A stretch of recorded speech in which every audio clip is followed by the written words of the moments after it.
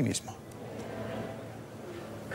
Muy atenta a las noticias que llegan de su país está Carmen, que se vino a Andalucía hace 16 años, huyendo de una situación que preveía podría empeorar con el tiempo.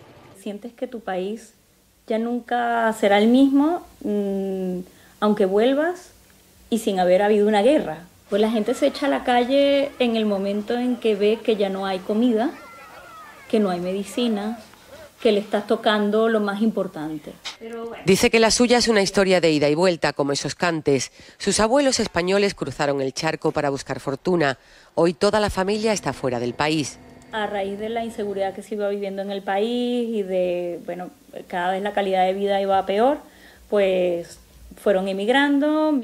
Ahora lo que más le preocupa es la situación de una amiga trasplantada de riñón, para la que ya es difícil conseguir los medicamentos que necesita de por vida que hubiera una implicación para garantizar el envío y la entrada de esos medicamentos, ¿no? como un corredor humanitario cuando, cuando un país lo necesita.